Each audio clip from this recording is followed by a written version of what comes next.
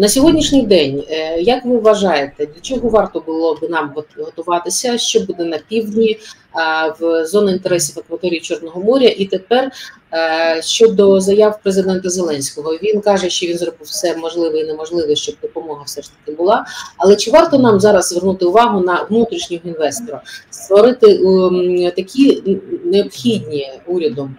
Українським умови для внутрішнього інвестора, щоб все ж таки активізувати внутрішній ВПК, внутрішнє виробництво і продемонструвати свою силу і міць. А в нас цього чимало, як ми знаємо.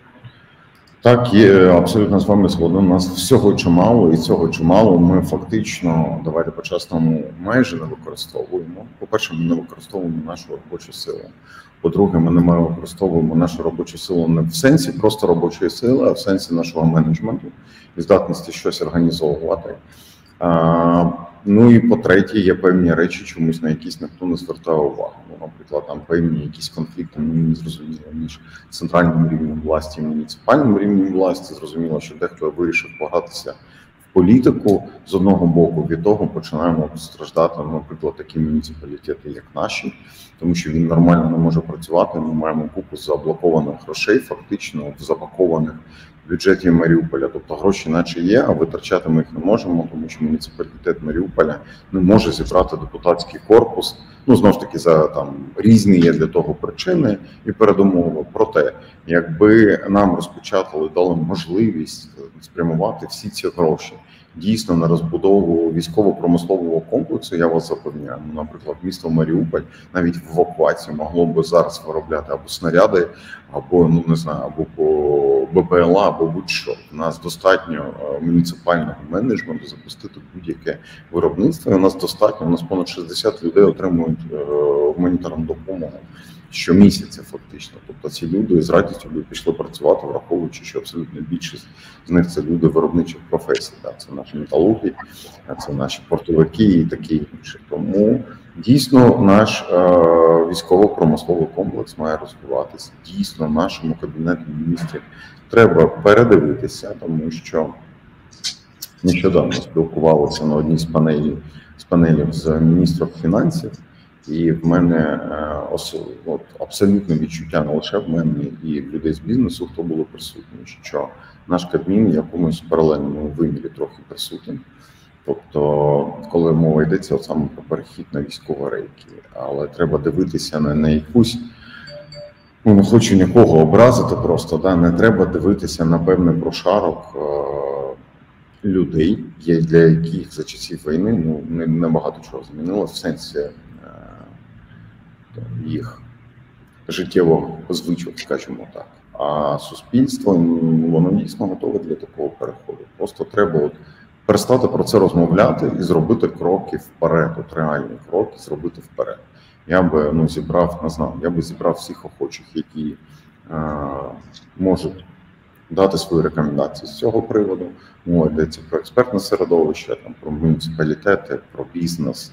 І власне я впевнений, що там заличені дні, заличені тижні можна зробити забагато, і вже там за першу за перше півріччя ми зможемо казати, і президент зможе казати не про мільйон дронів, наприклад, а про 5 мільйонів дронів. Це абсолютно реальна історія.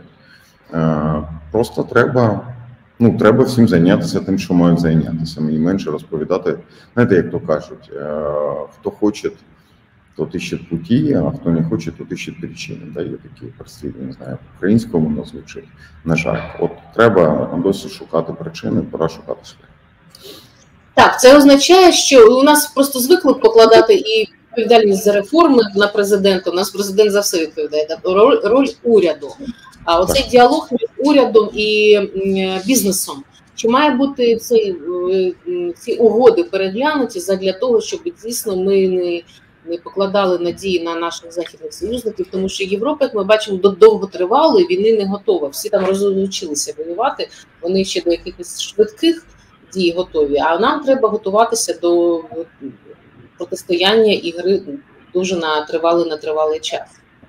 Абсолютно так. Нам ну в реальності нам потрібен новий суспільний договір. Скажімо так, да, як би там гучно це не звучало, але це саме ця справа. Давайте подивимось до до, до воєнний період, що що в нас існувало, чи, чи яка була потреба в муніципалітетах. Ми просили. Всі муніципалітети наші просили більшу децентралізацію, не чіпайте нас. Не? Бізнес просив те саме дерегуляцію і не чіпайте нас, але ситуація з війною змінилась. Власне, і тут е, вже є запит: не, не не чіпайте нас, а послухайте нас, і давайте зробимо разом. Тому що всі розуміють, мені здається, що в нас немає нічого, ну немає ніякого вибору. Ми маємо перемогти. Інакше ми просто фізично перестанемо існувати. Не просто як країна, кожен з нас фізично має ризик перестати існувати в незалежності від віку і статі. Тому саме час рухатись от в цих нових реаліях. А тут і питання єдності. Оце і є нова єдність. Зрозуміло, що там новий вибух єдності був спочатку повномасштабного вторгнення. Пройшло півтора роки очікування дещо завищене, дещо не завищене. Ну і втори роки війни це не просто для будь-кого в теперішніх умовах. Це треба це зрозуміти, е, але це треба прийняти всім. Знаєте, я бачу, що от суспільство починає це приймати, ну, якби приймати да, на себе. Я маю на увазі людей. Я бачу по бізнесу. Бізнес це зрозумів і прийняв, що це. Тобто, треба всім зрозуміти, сісти, відкинути ці якісь незрозумілості, звідки мені не зрозуміло, вони виникають під час війни, і шукати спільне рішення, і ну, умовно кажучи, вкладати новий суспільний договір про те, що робить бізнес, що робить суспільство, що робить муніципалітети, що робить влада, що робить кабінет міністрів, що нам гарантує президент, що нам гарантують військові, як все це має відбуватись, і тоді все воно знаєте по полицях розкладеться. І питання переходу в з країни на військові рейки, що має працювати, що має не працювати, скільки має працювати. Питання мобілізації, кого як, скільки ми мобілізуємо війська, хто їх як забезпечуємо, на що ми здатні ну в реальності. Да? Тут і питання інформаційної політики, тут і питання витрачання грошей. Тобто, все це докупи, і ці питання все одно нам прийдеться вирішувати. Ну як то не крути, тут просто є два шляхи. Або зараз ми все ж таки підемо мирним шляхом внутрішнього вирішення без політики і а, прийняттям прагматичних і технократичних рішень. Тому що всі власне на це згодні. Або за певний час ми будемо змушені прийняти те саме, але до того ну просто збільшимо в суспільстві негатив між негатив між різними гілками влади, між різними е, складовими соціальними суспільства.